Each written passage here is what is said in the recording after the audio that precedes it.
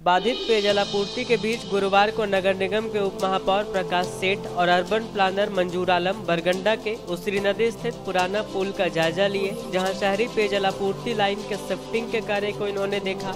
मौके पर भाजपा नेता संजीत सिंह पप्पू भी उपस्थित थे। यहाँ युद्ध स्तर पर पाइपलाइन शिफ्टिंग का काम ठेकेदार द्वारा कराया जा रहा था। बताया गया कि संवेदक रतन गुप्ता की मौजूदगी में मजदूर द्वारा लगातार शिफ्टिंग का काम किया जा रहा है। करीब 34 लाख के लागत से खंडोली पेयजल आपूर्ति के पाइपलाइन को बरगंडा, इसी पुराने पुल से हटाकर पथ प्रमंडल द्वारा बनाए गए नए पाइपलाइन पुल पर शिफ्ट किया जा रहा है।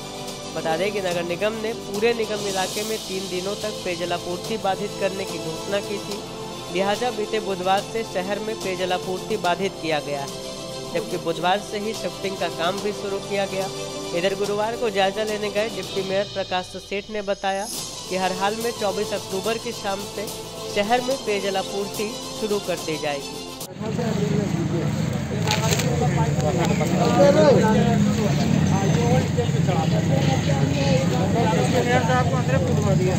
पूरा थक गया अभी आज शाम को छुट्टी करेंगे रात को काम नहीं चलेगा कल सुबह से काम चलेगा कल रात भर काम चलेगा उसके बाद ही क्या समस्या है निरीक्षण किया अभी क्या देखा? और कब तक पानी चलने का संभव होगा?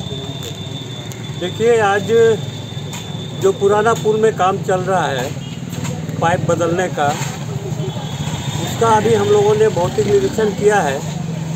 नगर निगम ने यह घोषणा की थी कि चार दिनों तक पानी बाधित रहेगा और चार दिनों के अंदर हम काम कंप्लीट कर लेंगे। अभी हमने भौतिक निरीक्षण किया है, यहाँ हमारे ठेकेदार भी जो काम कर रहे हैं। काम और दिन रात चल रहा है दोनों शिफ्ट में। और अभी हमने देखा कि एक साइड का काम अभी पूरा हो गया है, यानी 50 परसेंट काम जो वो पूरा हो गया है। बाकी दूसरे साइड का काम चल रहा है। और काफ़ी तेज़ी से काम चल रहा है। मुझे लग रहा है कि हम लोगों ने जो घोषणा किया है और जनता ने जो मन बना के रखा है कि चार दिन के बाद हमको पानी मिलेगा वो हम पूरा करने का काम करेंगे और चार दिन को चार दिनों के अंदर ही हम पानी सप्लाई देने का काम करेंगे। अभी की अभी जो स्थिति हमको देखने में लग रहा है।